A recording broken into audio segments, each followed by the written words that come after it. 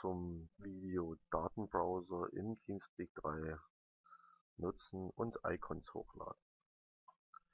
Ähm, Datenbrowser, kurz erklärt, ähm, geht relativ schnell, ist einfach auf den gewünschten Channel, den man sich auswählt. Im Willkommenschannel würde ich das nie unbedingt machen. Ähm, aber so in anderen Channel, wenn man sagt, man wird zu Wolf Team zum Beispiel, dass man das in seinem Clan-Channel dann macht. Äh, oder im eigenen Server von Teamspeak 3 bei niemand. Wenn man da einen gesponsert gekriegt hat von uns, kann man da das auch tun. Ähm, einfach rechten Mausklick, Datenbrowser öffnen, dann haben wir hier den Reiter, der nach, äh, mit dem Pfeil nach oben, gehen wir vertraut, dann suchen wir uns eine gewünschte Datei aus ähm, und laden diese dann einfach hoch. Mal schauen, ob wir uns gleich was finden. Mit einfach mal dieses hier, das ist von ähm, Minecraft ein Bild, was wir da mal gemacht hatten. Ähm, laden einfach mal hoch.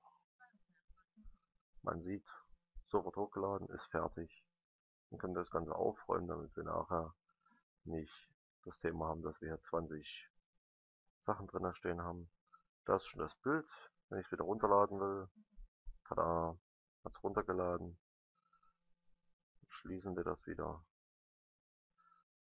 und sehen hier dann unser Bild. Mal was groß machen. Da. Und ich brauche das jetzt nicht mehr, also lösche ich das einfach. Ähm, das ist zum Thema Datenbrowser nutzen. Ähm, bei uns bei Big 3 bei niemand, also ds3niemand.de kann man Daten so groß wie man möchte hochladen. Ähm, Festplatte ist auf 2 Terabyte begrenzt.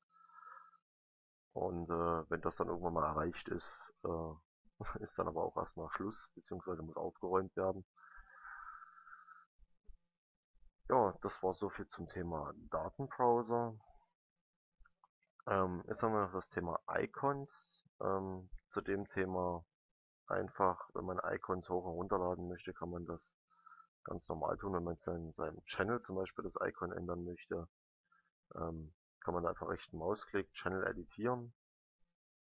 Und dann geht man hier einfach auf Icon ändern zum Beispiel. Ähm, bei uns sind schon viele, viele Icons hochgeladen.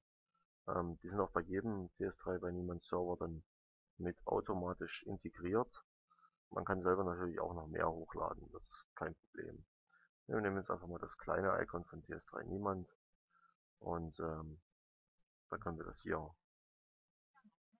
anwenden. Wie wir sehen, es hat auch geklappt. Ist da. So, wenn wir jetzt da Icons hoch und runterladen möchten, ähm, in dem Falle nur hochladen, runterladen geht ja nicht, wir können sie maximal nutzen.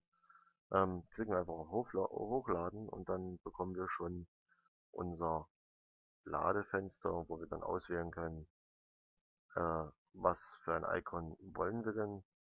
Ähm, dann haben wir ganz normal hier den Reiter, wo wir sagen können, wo wollen wir hin.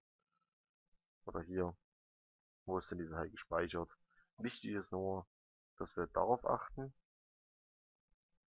dass die Datei PNB, GIF, äh, JPEG äh, und dergleichen, also PNG geht auch noch, ähm, nehmen als Bildformat und dass die Datei nicht größer ist wie 16 x 16, wie man hier schon sieht. Die Abmessung ist 16 x 16. Äh, das ist wichtig. Wenn man einen transparenten Hintergrund hat, ist das auf jeden Fall hilfreich im Teamspeak. Ähm, dann sieht man den Hintergrund halt nicht. Ansonsten muss man halt weiß nehmen, oder normal für Teamspeak weiß ist. So, das, das auch zum Thema Datenupload, Download im Teamspeak und Icons ändern. Und dabei sage ich Bye.